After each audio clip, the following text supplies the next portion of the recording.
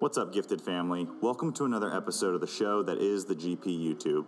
Just a reminder that if you support what we do here, make sure to go over to giftedperformance.com and sign up for our automated coaching service. For only a dollar a day, you'll get access to 15 highly customized training programs, a macronutrient calculator, our meal planning feature that lets you build and save meals based on your macros, as well as access to our private Facebook group. All subscriptions help us in continuing to put out great content to get you to your fitness goals. Thanks for stopping by, and without any further delay, let's get into today's video. Enjoy.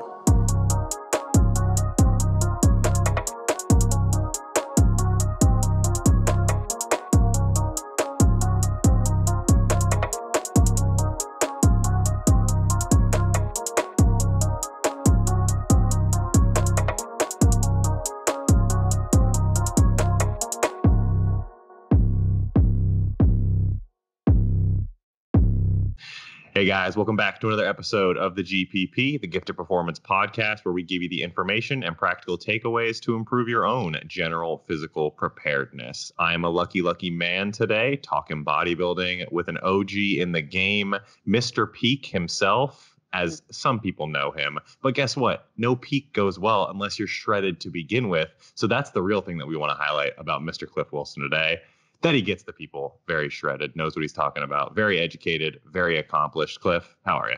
I'm good. I appreciate you guys having me on. I I I, uh, I, I also appreciate that you're wanting to talk about some things in addition to peaking. yeah, guys, here a PSA out to the world. Cliff does more than just peak people. Most of the viewership just tuned out. They were like, "All right, well, if he's not talking about peaking, I don't even want to hear anything from him." I got my two other GP co-hosts with me today. Cam, you're on the top of my screen, so I'm going with you first. Paul, I'm, I'm not I'm not slighting you. I'm sorry. Uh, what's going on? Paul, how's the new Keurig treating you? Did it's you even get it open? Operational yet, man. I'm gonna have to do this without without some coffee. All right. Well, we, we still think you can pull it through. All right. Well, let's get things going. We got a lot of questions to go through today. A lot of really top tier content, hashtag content that we are bringing to the people around the topic of getting shredded for competition. Uh, first and foremost, I'm sure you may have heard it from Cliff before. It is the Cliff Wilson intro. Cliff, you want to throw the people a quick brief one about you, your competitive history, athletic history, coaching business, when you got started, all that? Yeah, yeah. Um, I have been coaching now for 10, almost 11 years. Geez, time time flies. It's never it's never fun watching the transition, as they call you, the the younger coach in the game, and then everyone calls you sir over the you know watching that transition through the emails. But um, so yeah, I've been coaching ten years now, full time, uh, for eight, and um, just work with bodybuilders. I don't even work with general population. Um, and so uh, yeah, I, my own competitive history. Um, I've been competing myself since 2008. Um, I won my natural pro card in 2016, and then I did my first pro show uh, um, two years ago.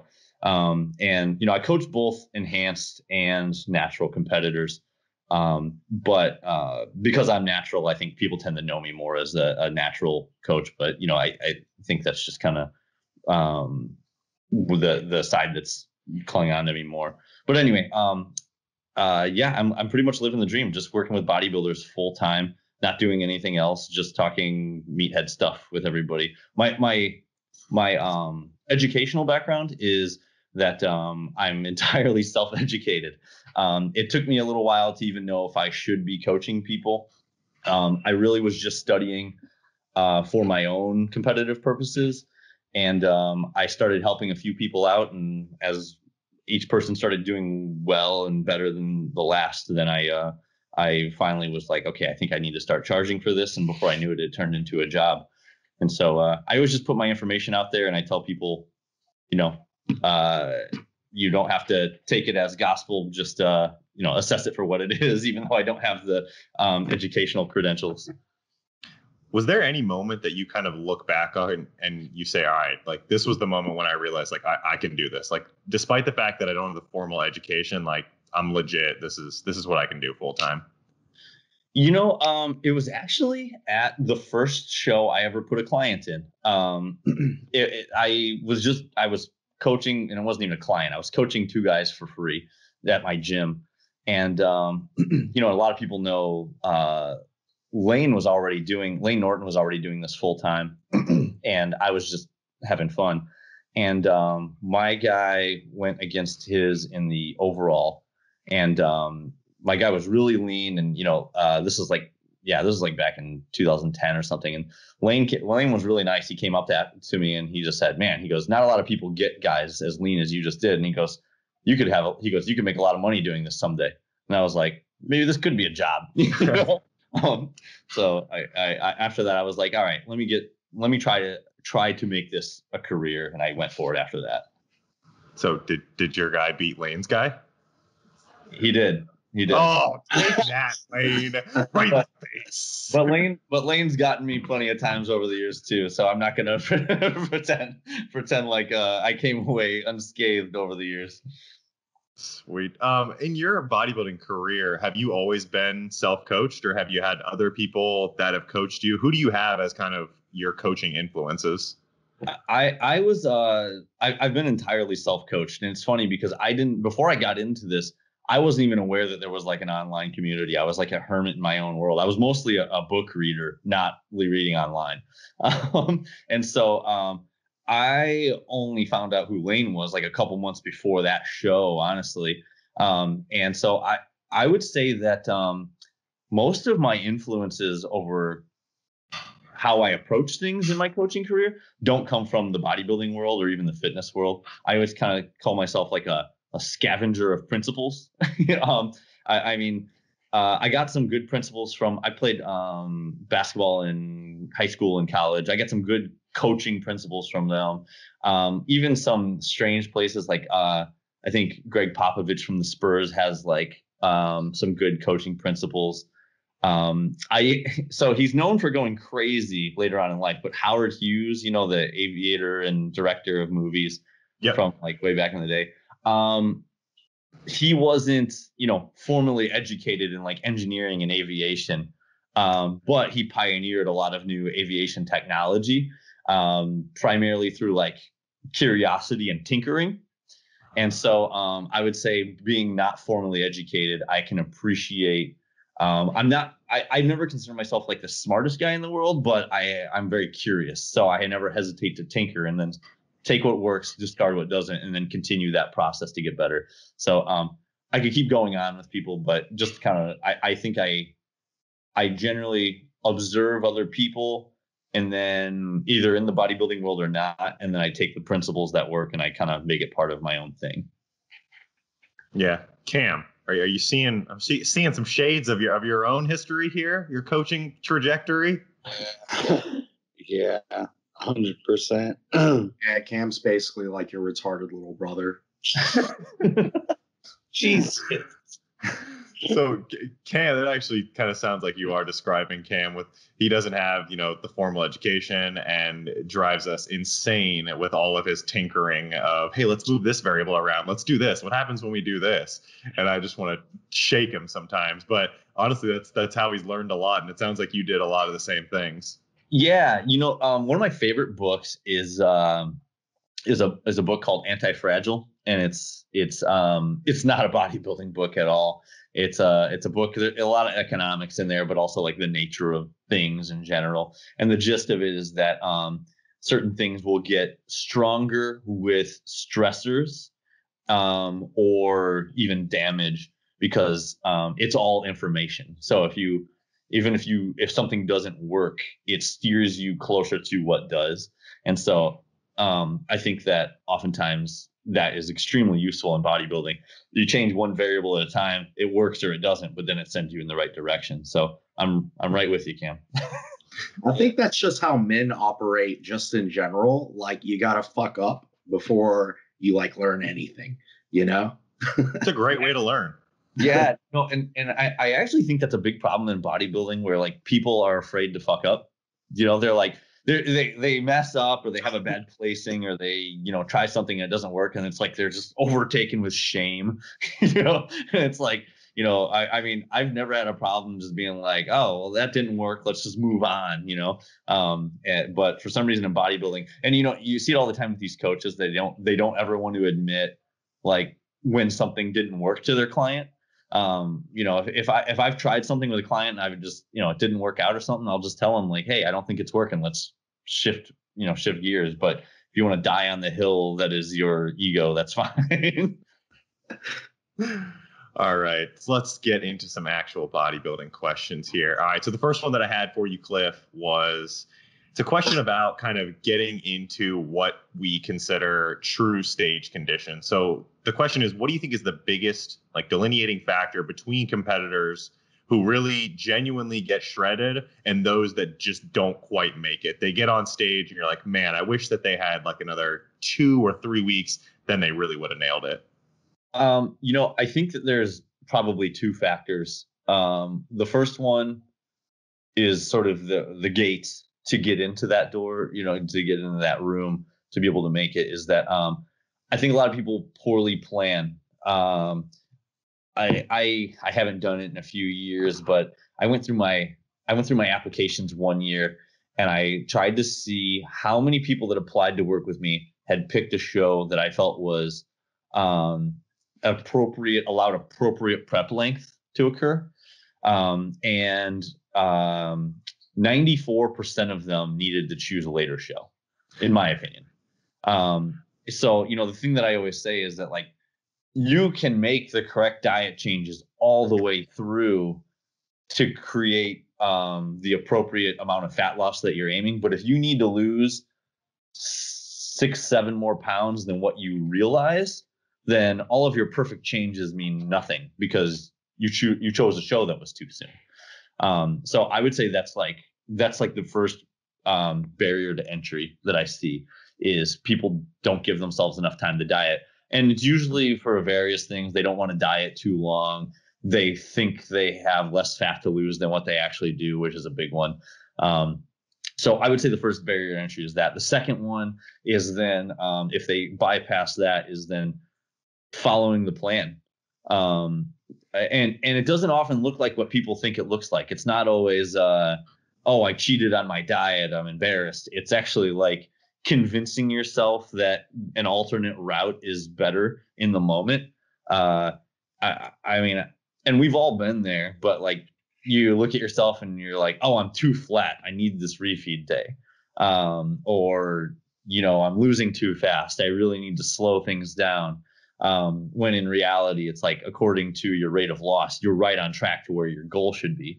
So i think it's a matter of remaining disciplined to the plan that you set in place to follow through and not let these day-to-day fluctuations in your look or your weight or your feeling steer you off course. So i would say those are the two biggest things aside from any any dietary or training changes so when you coach yourself and you're kind of in that moment of like, man, you know, maybe I need an extra refeed here, maybe my weight is dropping a little bit too much this week. What's the internal dialogue that you have since you don't have a coach to go to? How do you stay objective with yourself? Um, all right, you're gonna think I'm crazy with this, but um, I so do. I take photos of myself, um, and then I email myself to my client email, and I put my weight in there and I step away from my computer for a few hours. Um, and I wait till I haven't looked at myself in a little while. And um, I analyze my photos and my weight, and I may put a few notes in there for the week, but I analyze what I've just written to myself as if I'm viewing a third party person. Like I try not to, I try to ignore any feeling I may have, and I go by what is in front of me. The way I do with my clients, I go by um, I go by the weight that I'm seeing, the adjustment in the pictures that I'm seeing, and the few notes that I've jotted down. And um, any feeling that I have about me is separated through what I have in text in photos in front of me. Um, hopefully, I just didn't kill my business there by having everybody shot another head on his body. No, I think a lot of people appreciate that. It's a very uh, unique answer, something I wasn't expecting, but it makes a lot of sense if you're able to like stay true to that process. Yeah, yeah, and, and I'm like, uh, my girlfriend thinks I'm crazy. I'm like, got another check in from Cliff today. um, but uh, you know, I I think that um, you know so there's a big push and there's a little bit of a sidebar but there's a big push right now i think with like video calls and you know having access to to video and thing Um, a lot of coaches really want to have these video conferences with their clients. And a lot of times I kind of tell my clients, I would prefer not to have the video calls and make the changes because having that little bit of layer of um, objectivity, like if I get too close and if we have a video call for 30 minutes and they're telling me about, hey, I feel, you know, really tired or, you know, I can see how they're really worn down. Um, you know, human empathy kicks in and you're not going to probably be as tough on them as you need to be. Um, I don't know if you've ever seen, but like some of the great coaches that I've known have tried prepping their wives, um, and it doesn't usually end up great. You know, they don't get to the same level that their other clients do because they they end up care. You know, they care about that person. So I think that um, sometimes being able to see you know that they're struggling a little bit actually makes you pull your punches a little bit as a coach. So I, I a lot of times tell people I prefer email um, for that reason.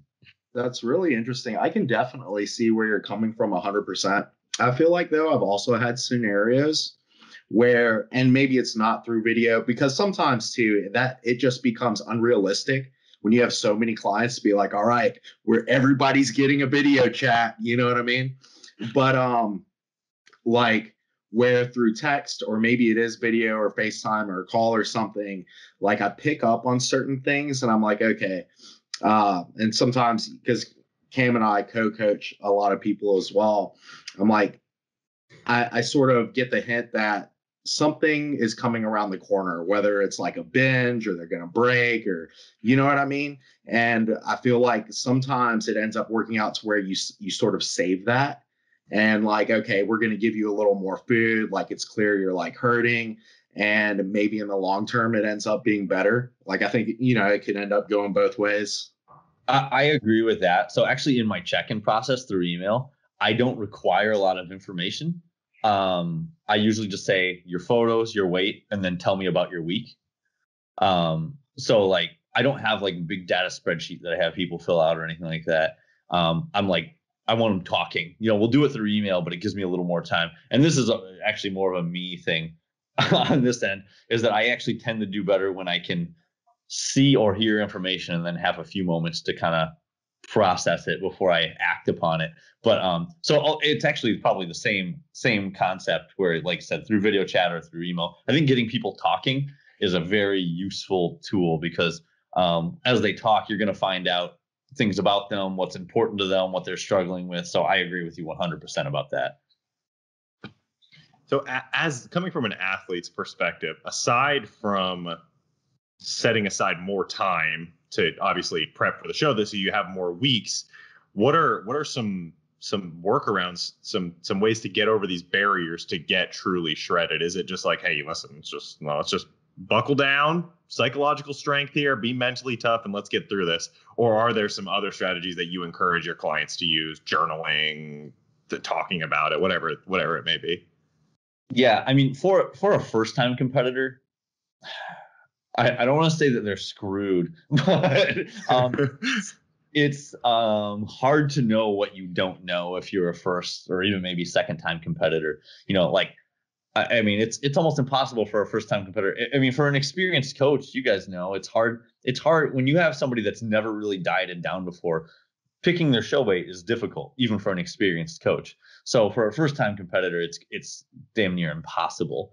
Um, so in that case, I would actually recommend dieting down to a semi lean weight first to like gauge. I, I, would say one of the workarounds is not not choosing a show beforehand. Um, just diet with the and this even this I, I, like this for experienced competitors too but um diet with the goal of reaching your best physique and once you know you're maybe three four weeks out from that then find a show and jump in um, because it removes the um, because i think oftentimes choosing a show really far in advance the goal becomes the date um, but i would rather have the goal be your best look yep. Um, and there's so many bodybuilding shows now. Like, I mean, if you don't mind a little bit of travel, you can just, you know, you can dive in anywhere. Um, maybe not with COVID, but, um, but, but, uh, so I would say that's probably the best workaround is diet in order to get lean. But I think a lot of people, um, have difficulty staying on track with that. Um, but ultimately, I think being able to focus more on the process than the result is going to be the thing that'll help get them there. Um, and I, I would say like one one kind of mantra I give to a lot of my clients is, uh, you know, stop looking at your show date. Stop, you know, if, if you really are sure you want to do this, stop looking at the date. Stop thinking about the show. I want you thinking about your your next training session, your next meal, your next good night of sleep. Um, I only want you looking at the next thing that will make you better. Thinking about your show is not going to make you better. I love it. I hope every future client we ever get watches this. And I, I everything you just dropped is like the a coach's unicorn that we just hope to see in our next application. Hey, I just want to compete. You know, let, let's just start dieting whenever we we feel like we're a hop and a skip away. We'll pick a date, um, and then they're not texting you and like look like googling the show to see who's competing with them and like all that crazy stuff. Yeah, you know, just doing I, just worried about today and tomorrow. Like yeah, paying attention to variables you can't control is so counterproductive. Um, and you know, I, think there's also something that like bodybuilders are, are super guilty of this too, where they're like, uh, they're you're told to um, imagine you know uh, positive imagery you know what i mean There's imagery you're supposed to imagine like yourself on stage collecting the first place trophy and um, you know that that will help you know push you along. Um, research in psychology shows that the the the um, visual imagery of you know positive outcomes uh, actually leads to worse performance. Um, with I mean that's clearly been proven in psychological uh, studies. Is that um, when you're sitting there and and and the the studies have shown that the main reason is exhaustion. Um, you know, if you imagine yourself on stage collecting your first place trophy and stuff like that, um, you can create like an emotional response in yourself because it feels good. And um, also, you know, those positive emotional responses usually have a um, a come down, and it's exhausting. So it's like um, try to remain as steady as possible and focus on that very that very next thing that will actually make you better. Yeah, I think that's I think that's kind of rerouting it to be very process oriented, which is what we try and coach a lot of our clients on. Be process oriented, check your boxes today. The outcome's going to be there for you. It'll it, trust me, that first place trophy, it'll be waiting for you, but only if you handle the process of checking your boxes today. It's it's not very sexy. People don't want to hear that. not at all. It and it makes me think about like certain scenarios too that I know we've had this past year where like a client will be talking about wrecking nationals, getting their pro card, and they haven't even qualified yet. But they haven't even competed that, yet. We're, we're, months away from qualifying, and we just had these like four massive struggles over the past three weeks that we've been trying to overcome. Like, I always call that the WWE approach. Like, like everyone in nationals better watch out. I'm coming in, brother. About to hurt some feelings. Yeah, uh, yeah, I I think that um you know uh people forget, and I literally just made a post about it yesterday, but um people always think that somehow their their wanting of a first place is somehow enough to be deser- deserving of a first place. Um, but the only way you deserve is through your actions, and you know if you can't translate that want into positive and effective action, then you're you're fooling yourself. It, it's a fantasy at that point. You know what I mean? Yeah. Yeah, for sure. So the next part of this question is more over on the coaching side of things as opposed to the athlete side of things. When when you get a client that, you know, you look at their check-in, maybe they're 2 or 3 weeks out, they're already on low calories, they're already on, you know, are very very high cardio, low calories. And you're like, all right, this person still, you know, has a solid three to four pounds to lose. They're three to four weeks out. The next cut is gonna have to be a serious one. This one makes me a little bit nervous. Mm-hmm. How do you kind of rationalize that? How do you go about that mentally when you make that cut? Because I get small women that I coach, and it's like, holy shit, our next calorie cut has you eating 900 calories. I'm I'm concerned for you. So how do you kind of get over that? Um, no, I, I know exactly what you're talking about. Like, if you get a hundred pound bikini competitor, you're like, man, we're really going for it here. Yeah. Um, So I, I think the first thing that I do is talk to them. Um, I'm a I'm a I'm a big believer in communication. because um, I think if it comes to this point where you're just this guy that's prescribing things and they're expected to follow, um, it, you know, I like to say like this is what needs to be done, um, and I will say, do you think you are up to this? Um, so I want their feedback, and I want them to um, also take ownership of our plan. And I do that all the way through the process, but you know what I mean? I want them to be, I want them to be able to say, yes, I can, or, you know, if they have objections to it, speak up. Um, and then also just make it clear to them that if you start to struggle or you start to feel like you're going to binge or you're too tired or you just, um, I say, talk to me about it and we will find, you know, find an alternate solution or a workaround. So um, I talk to them first and then I say, "This is what I think needs to be done. Are you on board with this?" And usually they're like, "Yeah." I mean, bodybuilders are are are you know they don't want they don't want to be seen as weak, but a lot of times they're like, "Okay, we can do this," but there's a lot more. Um, and, and in my experience, there's a lot more um, willingness to take on the challenge if the challenge has been presented to them rather than forced upon them. If that makes sense. Yeah, you're making them part of the process as opposed to coercing them into it. Here's what you have to do. Here's what I am demanding that you do, and you're flipping that. I like that. Psychologically, that makes sense. Do you have any like? Do you read like a lot of psychology books? Are you really into like a lot of the psychology research? I, I am. Uh, okay. You know, you, you know, uh, it, it's kind of funny. I'm actually working on a new book that is like purely psychological based. Um, I, I I'm so when I first started coaching, um, at the time, some of the things that I was doing were significantly different than I think a lot of other people were doing, and um, and I knew that it worked because I had done it with a few people, and I knew that. Um, a, but then the problem was I found that a significant number of people could not see it through to the end. Um, whether it be um, confidence issues or motivation issues or um, discipline issues, whatever it may be. Um, they didn't seem to have the mental tools to finish the the training and nutrition plans that I was putting in place.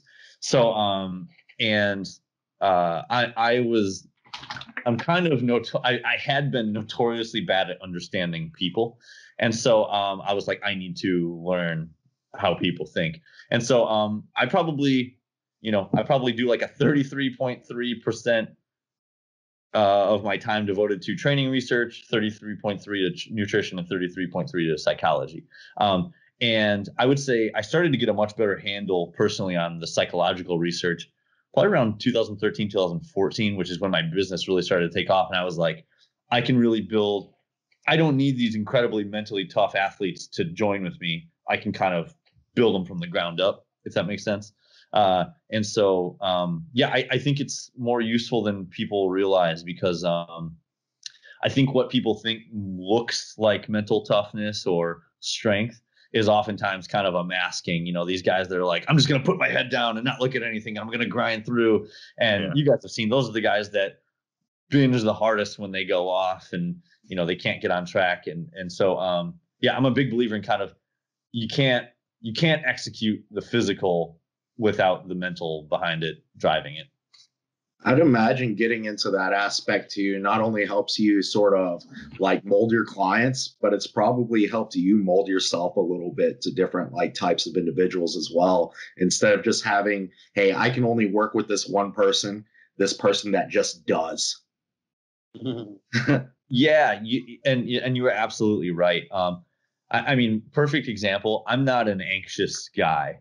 Um, I've never struggled, you know, I'm fortunate I've never struggled with anxiety or anything like that. But um, it took me time to understand how people's anxieties play out during prep. Anxiety of what if I don't look good? What if I don't place well?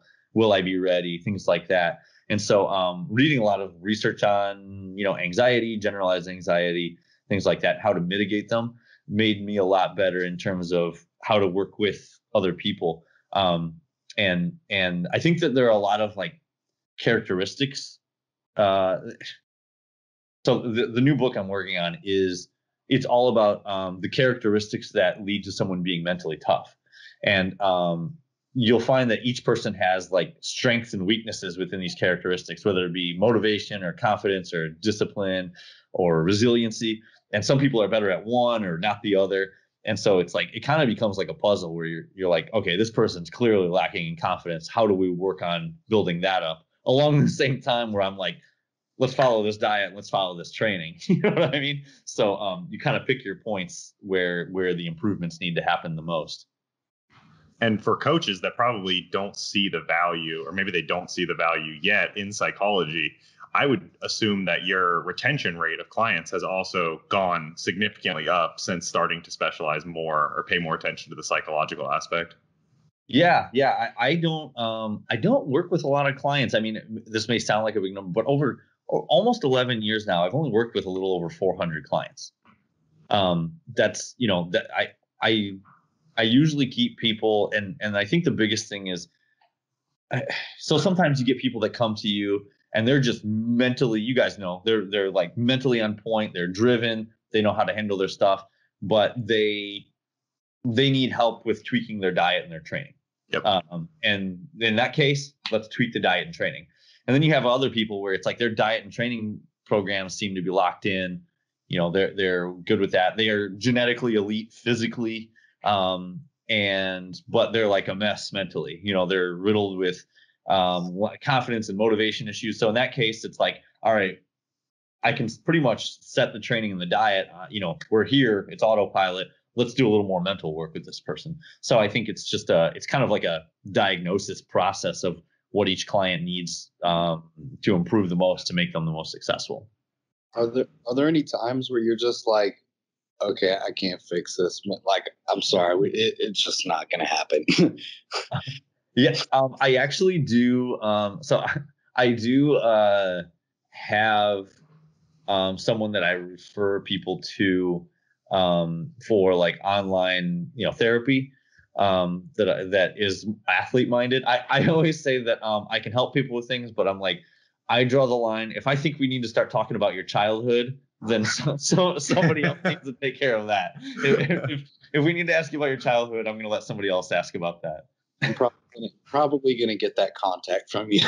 yeah, I, I, will. I'll give it to you because I, you know, um, yeah, I, I, I mean, I'm not, I'm not a therapist. I'm not a psychologist. I, I can help with the more surface. I can help with the the process of, of improving your thought process. Um, yeah. but I can't have. I'm not qualified to help people overcome like past trauma issues or anything like that. You know. So circling back to the athlete who, you know, maybe has a couple pounds left to lose, they're a couple weeks out. Are there any strategies? The question that I wrote down just has like physiological strategies, mm-hmm. but now I want to lump psychological strategies in there as well. Are there any physiological or psychological strategies that you use in those final few weeks when the going really gets rough? Um, physiological strategies is that um, I think it's always that fine line between okay, you want to push, but you don't want to. I mean, I think we've all seen it where um, now there's a difference between natural and enhanced athletes because enhanced athletes you can push extremely, extremely hard and not really have as much physical um, detriments take yeah. place. Um, so I think that if you're an enhanced athlete, there's a reminder that you can push extremely, extremely hard, and you're not going to see like a deterioration of your of your physique. Natural athletes is a little more of a fine line to walk. Um, so I, I, would say, in general, um, a, I, I, I hate to sound so simplistic, but I mean you're going to need a big caloric cut um, and a, a, big increase of cardio. Hopefully, I think there's a good setting up process that needs to take place. If you've already cut food, you haven't given yourself enough time, and you've already cut food really like as low as you can go in the weeks prior, and cardio is already pretty high. There's not really anywhere you can go. So I think that you need to um, uh, make sure you leave yourself some room for that last few weeks push. But um, you know, then I think it's a matter of if somebody hasn't been losing up to that point, look at some of the variables with their diet. Um, uh, people are really notorious for having calories sneak their way in. Uh, you know, are they are they chewing three packs of gum? Yeah, are they chewing three packs of gum per day and eating five containers of Tic Tacs?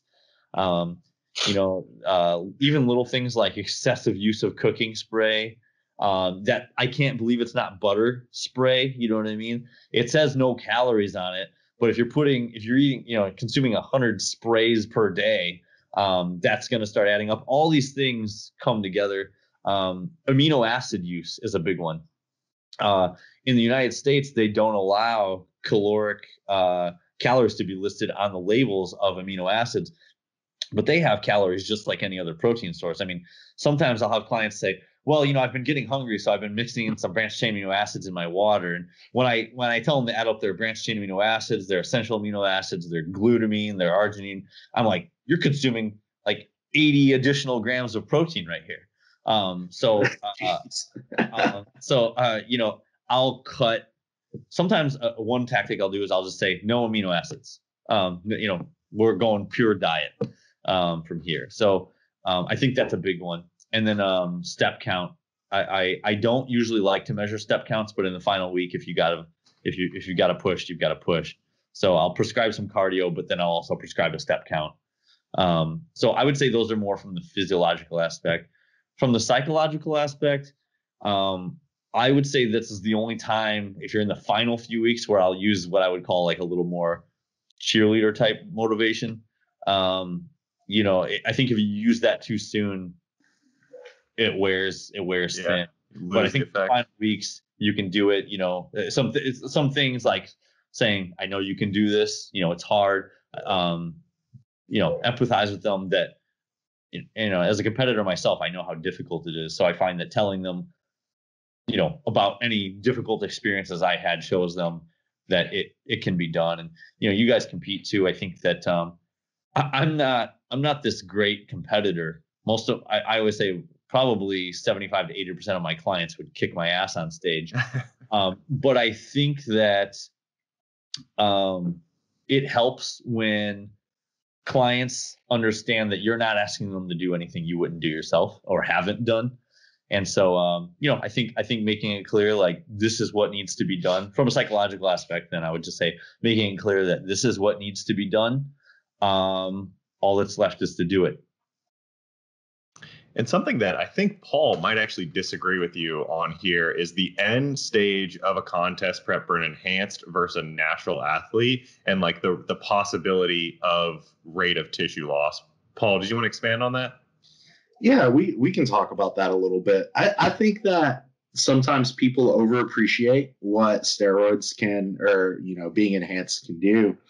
Um and I feel like, you know, one thing that sort of speaks to this um, is a lot of enhanced guys will come out of shows and they do these rebounds and they'll they'll a lot of them get kind of chubby but you know some of them gain what seems to be like an appreciable amount of muscle post show. And you know when you start looking at the literature there are like the the biggest circumstances where we see that is when people are regaining lost tissue because we know that can happen incredibly rapidly from detraining or hard dieting or whatever anything like that. So i think like a lot of times what we see when like enhanced guys come out and rebound is just regaining lost tissue. Um because uh, i mean a lot of guys you know sort of like what you mentioned sort of do preps that are a little too short for the amount of body fat they have to lose and end up having to grind really hard and do lots of cardio, get the calories really low, or on the enhance aspect, maybe go a little too hard into certain uh, certain compounds, stuff like that. I I actually agree with. I think I should probably quantify like what I mean with pushing harder. Is that um, I would say for natural athletes in the final weeks, I don't want to see us losing any more than 1.5 pounds per week, usually. Um, but with enhanced athletes, I may bump that up to 2.25, maybe 2.5. Um, I'm not talking about like the, you know, the giant drops that I see from like sometimes I see guys losing like four and five, six pounds, you know, in the final weeks. So I, I guess I should um, qualify that a little bit with. Uh, I I definitely agree with you that I think that there's um, the the the PEDs don't allow for anything goes type behavior. Um, I would say that the ability to push a little bit harder um, the ability to push a little bit harder without the negative repercussions just exists, but it's not like this unlimited power. So I, I, I agree with you on that because um, I, I mean you do see it.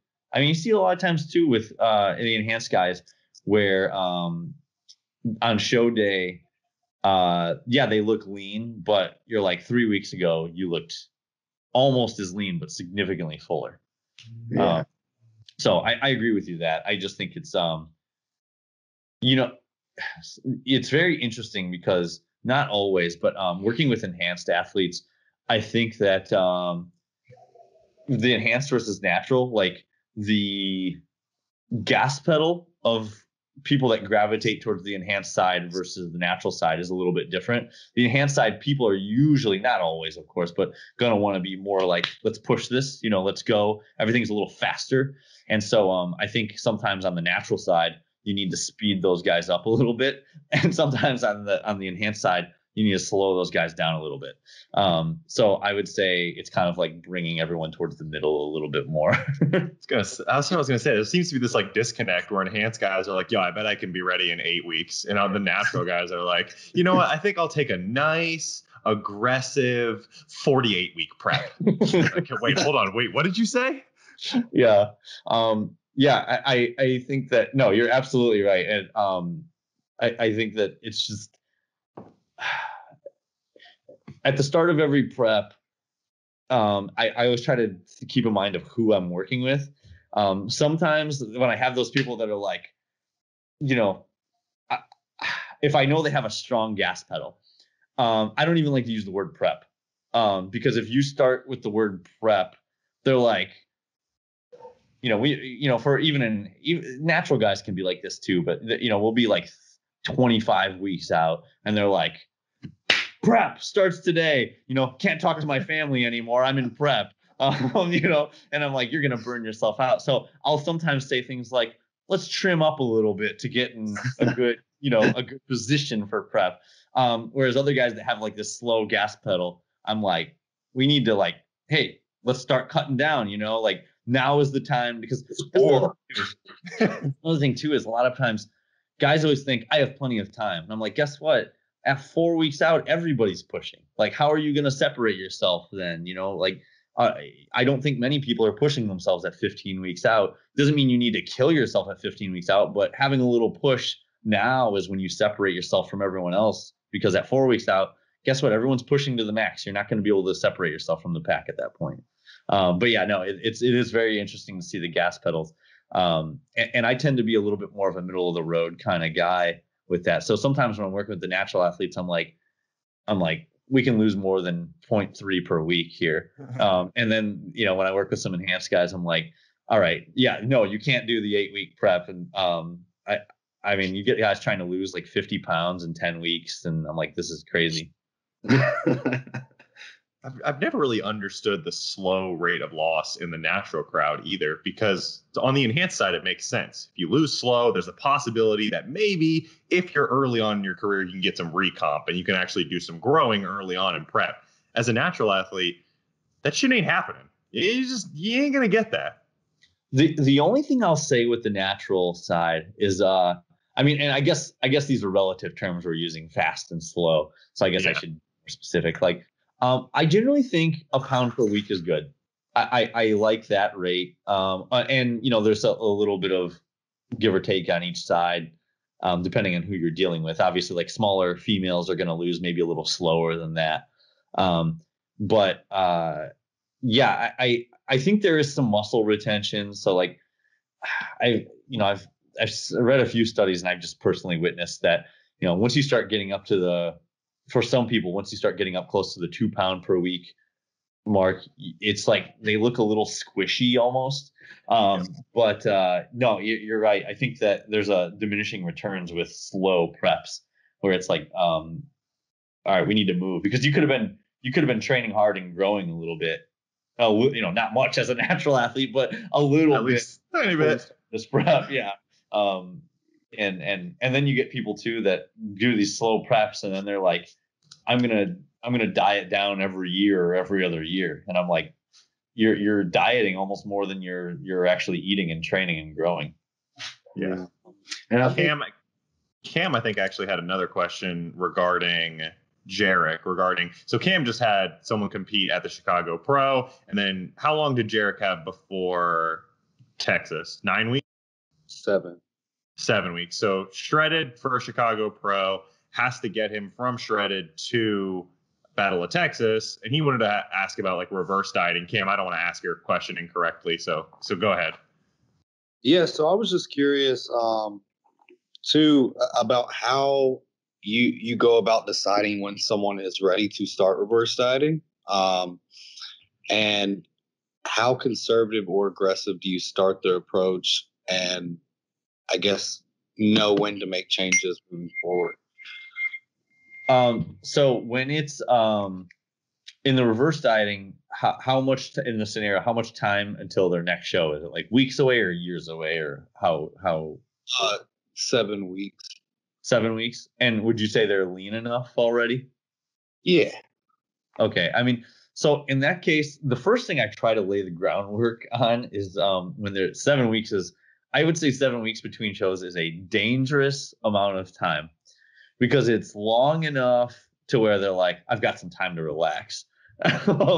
and so uh, the thing the thing that I try to minimize is immediate post show overeating. Um, because you know they think I want to fill out you know this is the mindset It- it- and it's like evolutionarily speaking of course there's a lot of things in place to drive our mind our minds to drive us to eat um, when we're really lean so i think um, in the immediate post show period one of the worst scenarios i see is people eat way too much for the next two days and they gain too much and then you have to go almost immediately back into dieting um, so I, you know, because in in two days, how much muscle are you going to regrow? You know, um, and, I, and so I would say that um, I try to make it clear to them.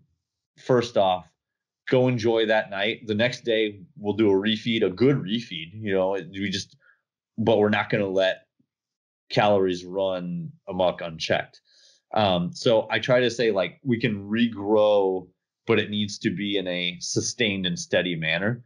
So I mean, if you're gonna go with um, if you're gonna go seven weeks beforehand, um, I would say first make sure that you can set it up to where they're not gonna binge, um, and overeat in that first process. But I would start off fairly high. If they're enhanced, you can do quite a bit more from what what I've seen than if they're natural. Um, so I would, um, if they're already pretty lean, I would probably jump it up pretty high. Like even give them a couple refeed days in a row and see how their body weight reacts. Um, but I would kind of do like more of a wave approach where you'll actually start high. So if they're if they're down here with their caloric intake for the show, you can jump them up high almost immediately, ride that for a little bit, dip it down to sharpen them back up a little bit because there is kind of a different look sometimes when you're coming down versus going up. And then you can come back up after you sharpened up, but a more subtle. So if post show you're here, you come down to here calorically speaking, and then bring it back up to maybe here, if that makes sense. Um, so I, I would kind of, you know, down and then up, but not quite as high up. Um, so it's interesting what all you said because I, I think when we set this up, he was just just had gotten out of the show, and now we're about four weeks later. And so what had happened was that first weekend after put on that weight, we just went back into to just digging it for one week, and he was good for the following week after we brought calories back up, and then started to kind of lose it with the time, or just mentally with how much time was still remaining and uh, I believe his calories ended up getting above 14 times body weight, and he started dropping weight and coming back down, and his calories have been able to stay. I mean, he he was digging into the Chicago show maybe around 1900 calories, and he was 215 mm-hmm. and 1900 and i think now he's sitting around 3200 or something near the same weight so it's just pretty neat Yeah, because I remember we had a conversation about that when he was starting to kind of lose it a bit. And I'm like, well, one, we could probably save this if you just give him a little more food, you know? And then two, if you want to take advantage of some sort of rebound or growth with like this uh, somebody who's enhanced, you're probably going to want their food at least somewhere around or near maintenance um, for some sort of time period. And then, uh, what was it? Shit, I lost my train of thought already. Well, I mean, you know what though, you're you're right though. Like, um, the the big I the big difference I noticed between natural and enhanced in this regard is that I think with the enhanced guys um, in the refeeding process, you're better to aim a little too high um, because the repercussions of having to come back down a little bit are not as great.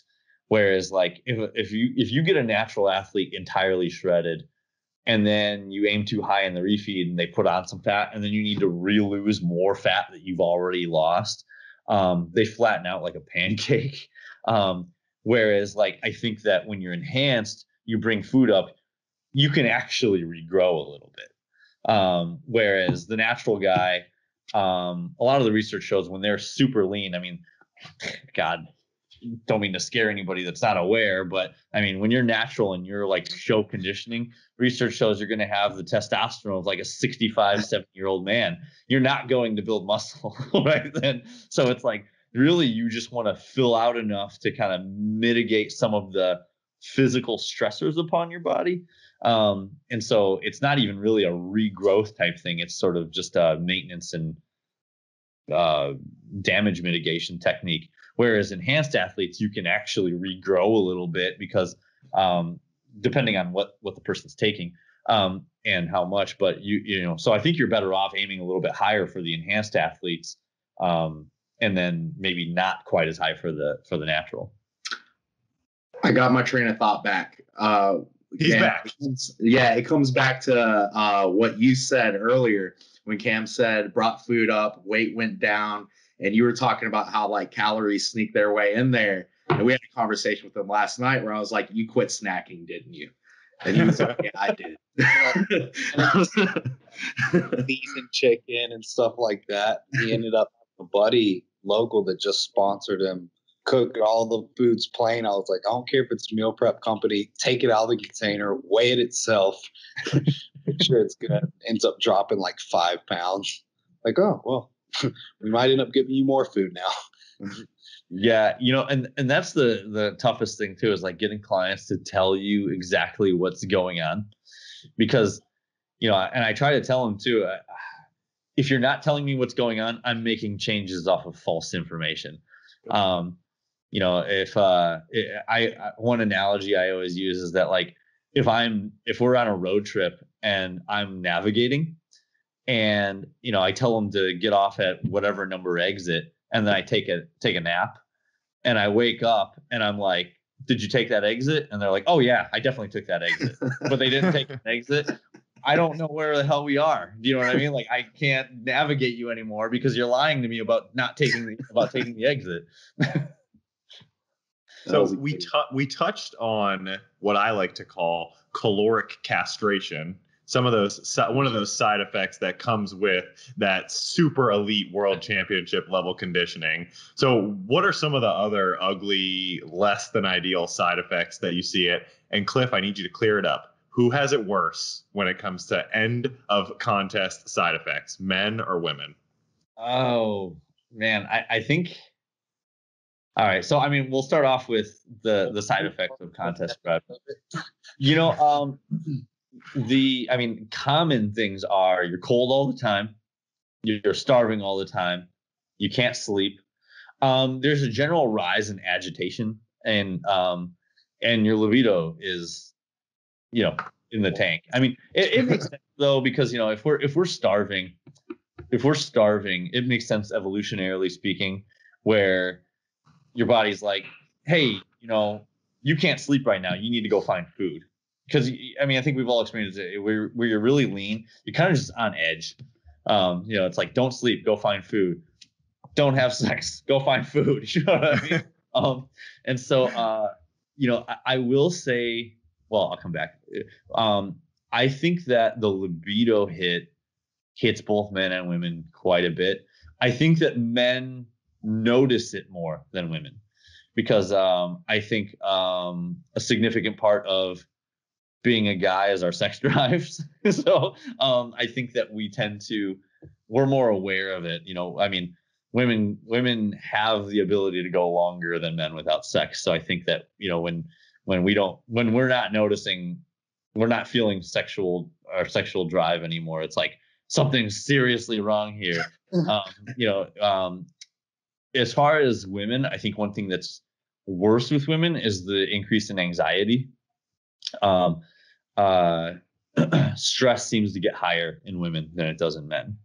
Um, but uh, in general, I would say men probably seem to have it a little worse. I think um, because I don't think that men handle some of it as well. Like men don't handle the drop in their sex drive as well. Um, even when it comes to like doing cardio, um, when it comes to doing cardio, you I mean, you can give a girl 45 minutes of cardio per day, and they're like, you know, I could do a little bit more if you want me to. You give a you give a guy 30 minutes of cardio, and they're gonna whine like crazy. Um, so I I think that um, I think that men probably have it worse. But you know, one thing I will say is that there seems to be um, you know, muscle memory is a proven proven mechanism. Uh, now, I have no evidence for this other than anecdotal, but it almost seems as if there's some sort of fat loss, uh, uh, fat loss memory, um, because I find that people that diet repeatedly, they seem to be able to get back to the previous best conditioning they've reached with fewer side effects than what they had previously. I don't know if you guys have noticed that at all it with uh, women and usually quad separation too. Yeah. yeah. One thing I, I'm so glad you steered the conversation in that direction. I almost thought we were going to disagree for a minute, but I feel like lately men turn into what you expect, how you expect women to act at the end of prep. And lately, I feel like almost every guy that we've worked with uh, prep wise uh, I don't want to say every, but a lot of them, I, I hit this point where I'm like, dude, this is embarrassing. The the way you're acting right now, it's embarrassing. I think it's a flip side of the coin. Men solid in off season, women solid at the end of contest prep. yeah, yeah, so and, and and women do generally in my experience, women don't like the off season as much. Well, and you know that probably also plays because guys are feeling small during contest prep, which they don't want to feel, yeah. and women are feeling bigger in the off season, which they don't want to feel. So it tends towards um, a little bit more positive motivation results there. So I wonder how much. I like the idea of the fat loss memory. I might steal that. I won't give you any credit for it though. It's not mine completely mine now. Um, but I wonder how much of it is like true physiological fat loss memory, or yeah. if they just get better at the habits of diet. If they just get more skilled at dieting and they understand more of what's to come and what to expect, so they can handle a little bit more of those kind of both physiological and psychological perturbations that come with the end of prep better. I would say that um, I, I pulled my punch from saying it because I don't want to keep coming back to the site. I don't want to keep seeming like a one trick pony with the psychological stuff, but I would say that psychological absolutely plays a big factor in it. Um, because I think that expectation also plays a huge role in how we react to certain things. Like if you look at the research on resiliency, um, there is a significant I mean, it, also it's well documented that the psychological impacts the physiological. Um, I've done hormone panels with some of my clients, and um, I can definitely correlate drops in testosterone in a contest prep with how relaxed or stressed someone seems um, on the same people as well. Um, but uh, I mean, and you can also see it. One of the one of the cooler studies I've ever read um, is that they gave um, they gave uh, human subjects uh, a distinctly flavored drink with immunosuppressants in it. And they did that for three days straight. And of course, you feel like crap when you, your immune system gets suppressed. Um, and then they let their immune system recover and they brought them in later and gave them the um, drink without the immunosuppressants, and their immune system dropped. Um, and so it's like expectation, you know, um, can play a big factor.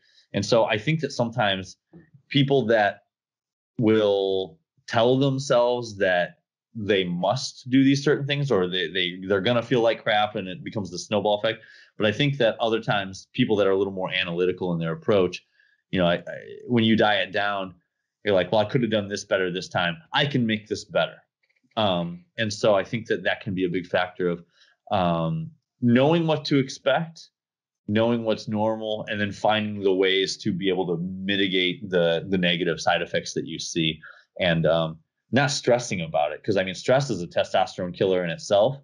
Um, I mean, you guys remember your first contest prep? Do you remember like the realizations of like, whoa, I'm way more, I'm in way a lot more suffering than I anticipated. I didn't know my sleep was going to be so bad, or that I was going to be shivering all the time, and you know what I mean? Like, that was um, Paul. huh? That's that was just you, Paul. yeah, I just did my first one. Honestly, it was less.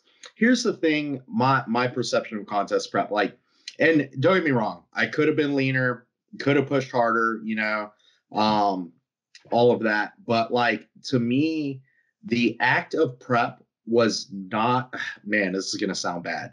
Not that bad, but it's keeping everything else together while you're doing it. Like being hungry and like tired, if all you had to do was lay on the couch and do nothing all day, that would be cool.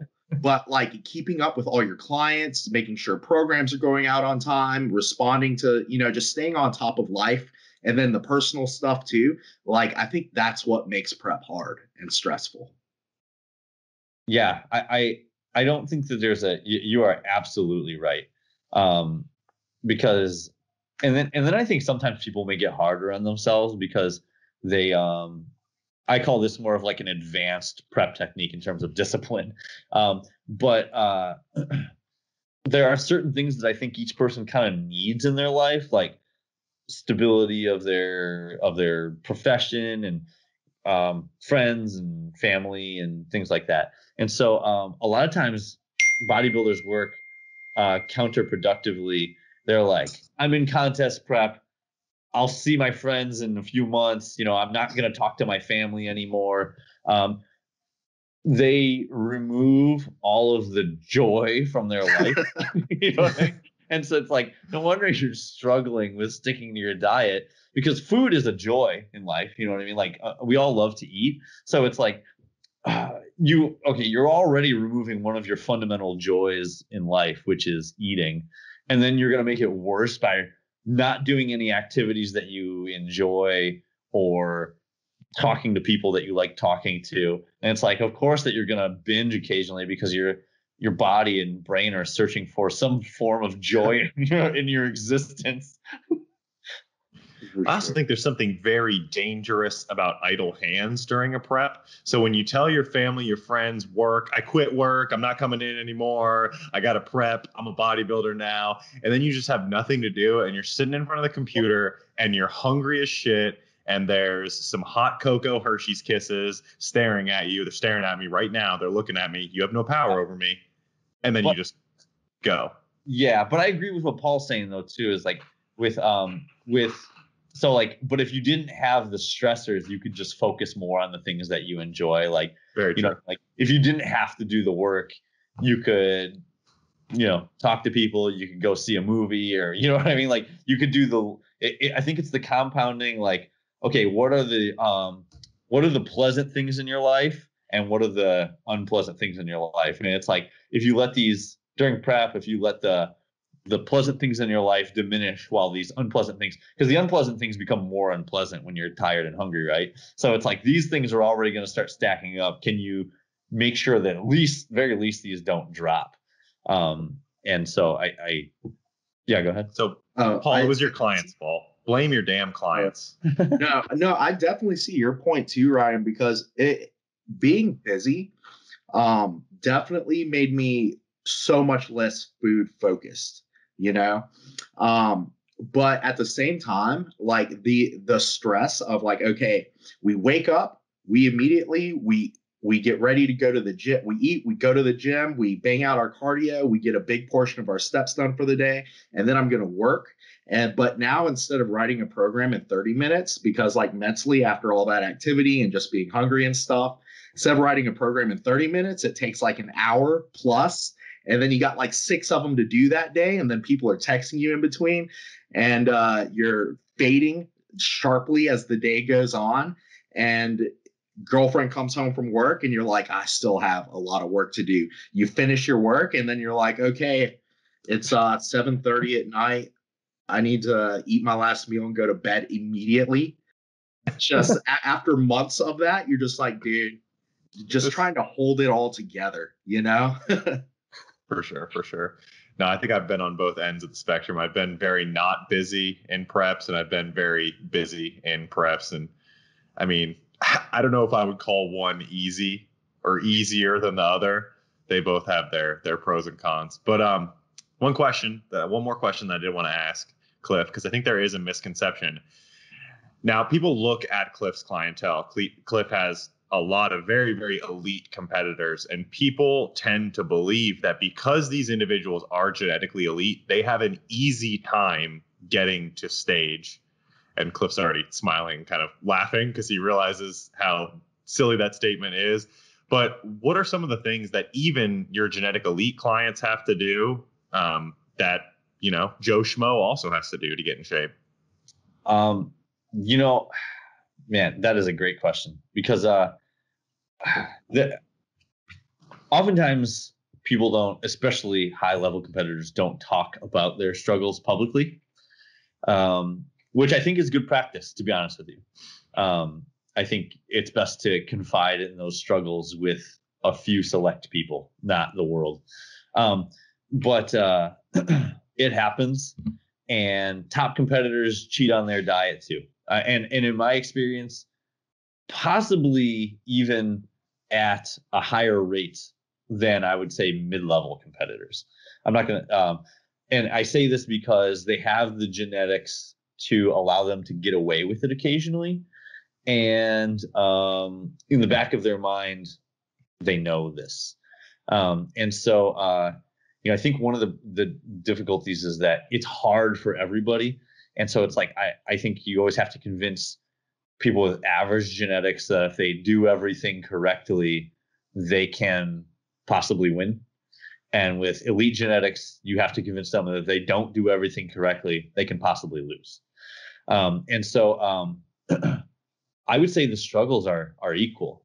Um, a lot of times, uh, you're going to be looking at um, a, a perfect example. I don't know if you guys have noticed the same. I think that people with extremely fast metabolic rates seem to struggle more with um, hunger during their preps Definitely. because they've never had to develop the tools of dealing with hunger in their life. They've been able to free eat for their entire life.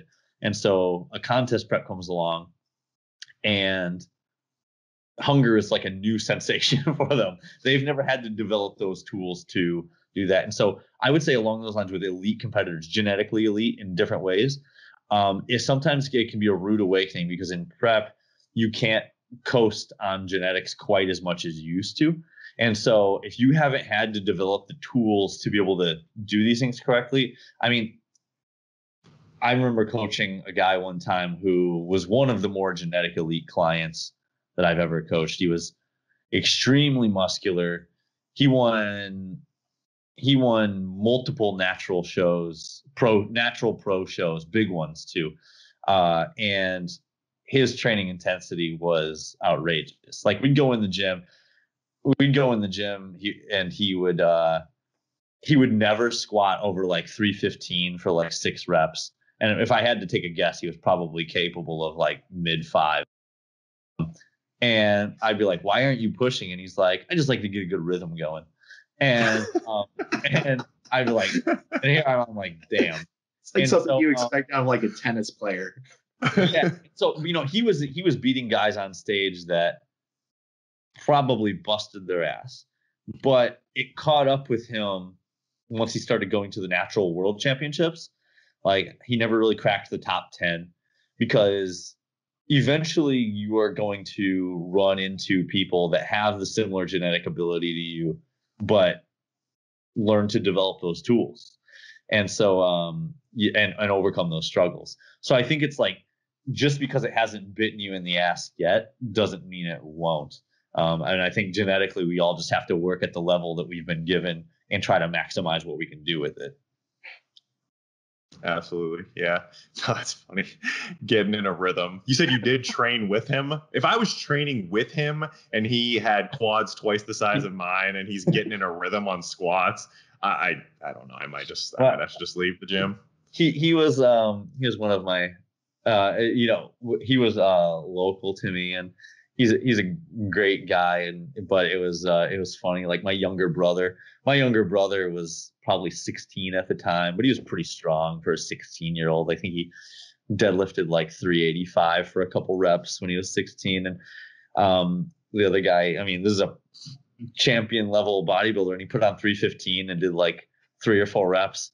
And then my brother goes and does like 385 for a few and the guy goes wow you're really going for it. And, and my brother goes, "Wait a minute, was that your first set?" And he goes, "Yeah." And he goes, I, "He goes, my brother's 16 years old, talking to this guy who's won multiple bodybuilding shows." My brother goes, "I wouldn't count that. I'd, I'd put that as a warm up." um, but uh, over the years, he did end up getting better at um, developing those techniques. But honestly, it took him getting his ass kicked a few times to really like you know show him he needed to so i think that um for everybody the struggles are always there it's just different. I think um oftentimes um for average competitors it's like okay things are hard um i have to push through. Um then i think for enhanced or not enhanced but uh you know elite competitors is the word i was looking for. Elite competitors it becomes this um okay things are hard do I need to push through? You know what I mean? And so it's like they have to find their own way to be able to get themselves to do what needs to be done. Yeah. So I think we're coming up on our time limit, but the people love to hear numbers. They love to hear the horror stories and the low numbers, the crazy prep numbers. So Cliff, I'm going to throw this one at you the lowest calories plus highest cardio that you've seen, and don't name any names because we don't want anyone to know who's who's doing this, who you're giving this out to, that you've seen from competitors. Well, we'll, we'll all like, round don't, table don't it. make me do this. That I've Oh. prescribed No. or that I've seen. That you've prescribed. Cliff, you used to do a really, really good series. I don't know if you can plan on continuing doing it. You used to post, like I remember you did it with Katie, uh, Katie Ann, and you did it with a couple of your male world competitors. You posted like what their calories and their cardio were. And I'm like, holy shit, I wish more coaches would do this to see what these numbers actually look like. I, I need to do that again. It's been a couple years since I've done that. Um, you know, I'll even say her name because I wrote an article about it. Uh, uh, I worked with um, uh, a client named Carrie Bolin, and so Carrie's a first off, she's a bodybuilder, a natural bodybuilder. Um, she her stage weight was only 103 pounds because she was only five foot tall. Um, so she's more shredded than a bikini competitor. So like, you know, when body fat levels get even lower, the metabolic rate drops even more. Um, she was like close to 50 years old, so she was like menopausal. Um, she, you know, like I said, so she's a little bit on the older side. She's super lean. Um, she, you know, she's tiny, and um, I, the lowest we got to was like an hour of cardio per day, but we got down to like just under 900 calories per day for a few weeks there. And I mean, she spent most of her prep sub 1000. Um, and it felt super wrong to me. Like I was Yeah. like, I cannot believe this. And honestly, she was getting emails from me. It wasn't even her check-in day, and I'm like over here worried. I'm like, "How are you doing, Carrie? Are you feeling okay today?" You know, um, and you know, oh, and to add on top of it, she had um, she had uh, uh, a tear in um, in her shoulder, and she she knew it was her last show till she retired. So she's like, I'm pushing through this. Um, and uh, yeah, so that was the lowest I'd ever gone. Um, I wouldn't, and I'm gonna put the disclaimer on that. Um, so she was going for the natural bodybuilding world championships at the time. One, she was a very experienced competitor, and I knew that she had it in her mentally to tolerate it and not be broken by it. And she had the chance to win, and she did end up winning it actually. Um, but I always say like I'm not going to go to that level for a first time compete, you know, or a bikini competitor going to nationals for the first time. Like I'm not going to give someone eight, you know, 900 calories to have them get third call out instead of fourth at nationals. You know what I mean? Like, um, I think that there's a certain like building process that goes on and, you know, a risk reward type of um, equation. And once again, I asked her, you know, I asked her like, are you up to this? Do you feel good about this? Are you comfortable? Things like that. I I wanted to put two things in here real quick. One, I just wanted to see if you identify with this.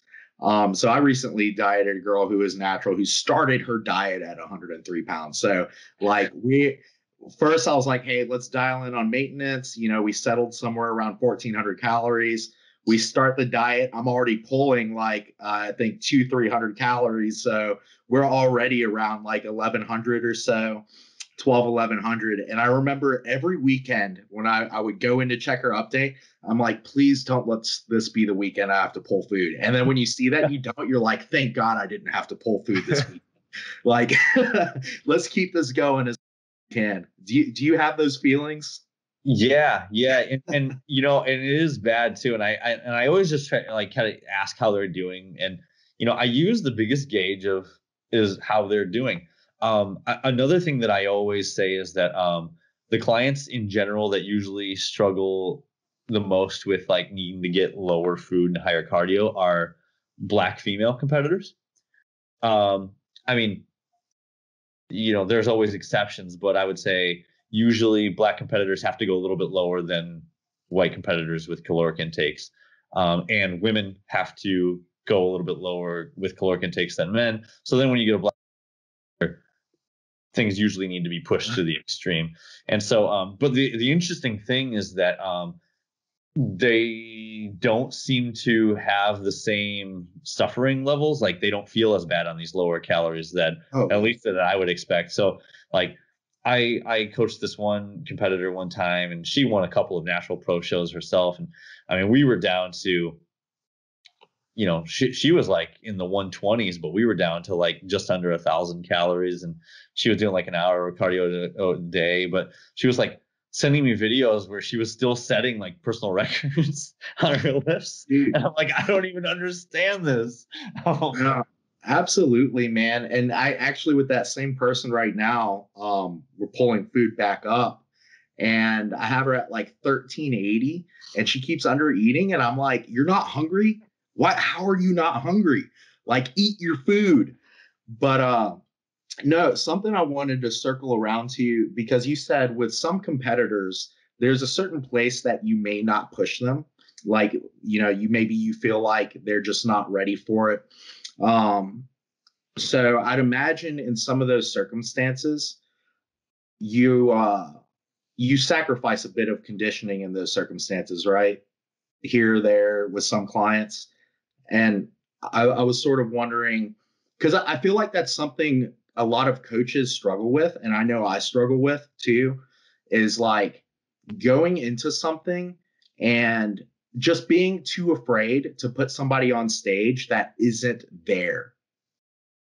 Um, you know, one thing I'll say is that like one, if I think that they are capable of getting there, you know, mentally and physically, and I think we're coming up on a show and they're not quite ready for whatever reason. Maybe they've cheated on their diet. Maybe I missed time, something.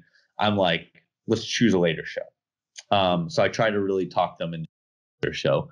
Um, and, um, but if it's a matter of like, I try to stress to my, you know, and, and it's usually with someone that's like a first time competitor or a newer competitor because I genuinely think that um, how do I word this? But um, I come off at times as being like a win at all costs coach. um, but I'm more, um, I never sacrifice long term reward for short-term reward. Um, and so if I have a client where I don't think that and and you know I I may be nitpicking here, but we may be talking the difference between like three pounds, you know. But those last three pounds can be brutal sometimes. So um, if I have a client where I'm like, I don't think that they, you know, what's the what's the reward at this first show if I continue to pile on cardio or cut calories? Is the reward a possible win, or are we looking at going from, you know, fifth fifth place to fourth place? You know what I mean? So uh, I, I try to ask myself, what is the reward for pushing this person even harder? Um, what is the risk? And especially if it's a newer competitor, the risk is I push them too far mentally because also with an experienced competitor, you can ask them, how are you doing? And they know. Um, newer competitors, they don't really know exactly how they're doing. you know, they they think they can push through anything, but you guys know ha, have you ever seen those instances where a first time competitor got absolutely crushed by some coach and then they never want to compete again or they they can't get their they can't get their diet back on track because now they have like mental disorder issues with food and like um i view that as sacrificing short term uh they sacrificing the long term reward for the short term reward. So um sometimes i'll tell my clients is you know uh I'll say, I'll just lay it out. I'll say like, um, I think you will be at your best when we can get a tiny bit leaner in future shows. Um, based on what I've seen, I don't think that this is the show. Do you know what I mean? Like, I think that this is we come in here and we build upon this. Um, and you know, and, and I'll even lay it out for them. You know, I, I I'm probably too honest at times, but I'll lay it out for them like things that I need to see get better, um, and mentally and physically. Like you know, if, if we needed more time, I'll say next time we need a little bit more time or um, I need to see, I'll even, you know, like you said, there are sometimes where people lay it out in their emails and they seem a little unsteady to me.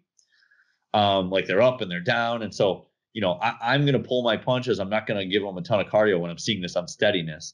And I'll say, we can get you leaner after we've developed a more steady, steady um, demeanor through the entire prep. So um, I'll tell them what we need to work on in order to be able to push that harder. Does that make sense? For sure, for sure. This is a weird endeavor, you know. I, I know I've mentioned this before on like previous podcasts, but like uh, I feel like this is like one of the few competitive endeavors where the expectation that people have on themselves or maybe social media puts on people is like one of the only endeavors where as an amateur the expectation is to have like an elite showing early on where like in every other athletic or competitive endeavor like people just go through the ranks they pay their dues and it takes time to reach that elite status. Man you are so right with that like how many times i mean i feel like every year or so there's a new person at my gym getting ready for their first show and they're like yeah i figure i'll do the show and then try to go to nationals for my pro card. And I'm like, like a middle like, school quarterback, like, yeah, I think I'm gonna go to Atlanta Falcons training camp next week. Like, uh, I start, I start working at like somebody starts working at like Chase Bank. They're like, I'm probably gonna be CEO in a few months. You better get used to it. You know, like, slow down. Like, why don't you do this one and see how it goes here? If people no. have a previous athletic history, I think that you can kind of reel them in with that, though. It's like, all right, so your first game when you were on the varsity basketball team, did you think that you were going to put up 30 points in a triple double? And they're like, no, I was just happy that I got in and I, I grabbed two rebounds. It's like, okay, it's the same thing with bodybuilding. Like this first show, we're going to get in there, we're going to grab two rebounds. And that, that might be really good. Those might be game winning rebounds, and you might get a first in novice, a good placing in open, and we can build upon that.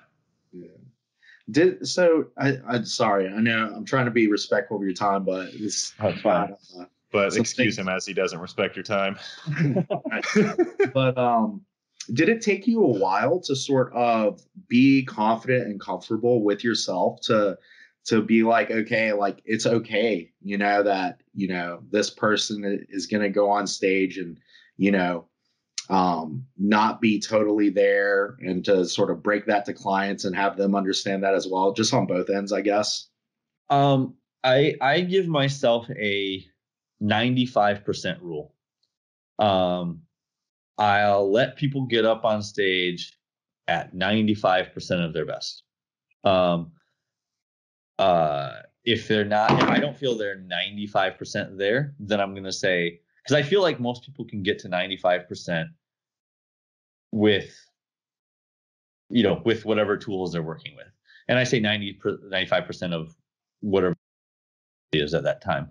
Um, but, uh, you know, there is a point where it's like you do have to find that balance between being like, hey, you know, there are still a few more percentage points, but you gotta, I, I think, um, getting people in the in the mindset of th- this is a building spot, um, focusing on if they got better from their last show. I also so 95% rule combined with not letting them get on stage worse than they've been in the past. Um, and honestly, that's kind of where my job description started off with is that like when I first started coaching people, because I wasn't formally educated, I didn't know if I should be doing it. I knew I knew what I was talking about, but I just didn't know if I should. And I kind of just took the approach of uh, I know I can get them better than what they've gotten for themselves. And if I was sure of that, then I would take the job. you know what I mean? Like, so um, I, I would say with that, and then um, you know, I, I, with the confidence of just being okay with it, um, I would say just focus on once again whether or not you help them improve because that's what it's all about. This isn't a uh, game of perfection; it's a game of um, ever improving physiques and process and mindset. And it's like um, if they improved, then I would say you did your job. Yeah, for sure. Cam, Paul, anything you wanted to circle back to as we sucker out? I think I've done enough circling back. Enough circling. He's dizzy. Cliff, anything you wanted to touch on again? No, I just I really appreciate you guys having me on. Yeah, we really appreciate it too. And I know that these guys are still full of some questions. So maybe we'll do it again in the future. Um, I'd love to talk about some different topics with you. But let us know what's in store for you uh, the rest of this year, the rest of this COVID filled year, and any new projects in the work. We heard about the new book. Uh, Cliff's got a great old book, The Complete Contest Prep. Yes. Textbook? Yeah. Uh, I, I, wrote it with uh, a client of mine, Pete, uh, Dr. Peter Fitschen. He's, uh, you know, we, he and I, he's been kicking my ass this year on the coaching front occasionally. It seems like he's been getting, uh, getting a pro card at like every show he's been sending clients Student to. becomes master. I know. Uh, so we, um, yeah, we, we, we wrote a book together and we kind of just, our goal was, um, we realized that not everybody can afford a good coach, um, or any coach or like, you know, most people can afford a $30 book. And so we, we wanted it to be something that if you had never prepped before, you could pick it up and read it front to cover and prep yourself with it. So we did that. And then the new book, um, I am finishing up the last chapter before I submit it to editing finally. Um, and it's uh, hopefully people will bear with me. It is I don't mention bodybuilding in it once. um, I don't. It's it is purely it is applicable to bodybuilding, um, but it's if I mentioned if I equated everything in it with bodybuilding, the book would be way too long. And so um, I I'm very clear in like essentially like how to build yourself up, um, and it can be used for bodybuilding or whatever purposes you want to use it for. So um, it ended up being quite a bit longer than I anticipated. So uh, you know, finally after a couple of years of writing, it's it's finally just about done. When can the people get their hands on it? Um, I'm trying to get it out by February. Okay. Um, it'll probably be February because, like I said, I'm almost done, but uh, I know how long the editing process takes. So, um, you know, I, I, think February, March, maybe even. Um, Right. Hopefully, uh, I was hoping to get it out while people are stuck inside with COVID, but that didn't seem to work out. But It might be coming back. It might be coming back. I still be in there. So, Yeah. so where can people find more about you? Facebook, Instagram, your website, all that. Um, probably Instagram and my website. So Instagram is uh, at CW Team Wilson, and uh, my website is teamwilsonbb.com. Awesome. All right, guys. Thanks for coming out. Thanks for listening. We'll see you on the next one. And as always, you know what to do. Stay gifted. See ya.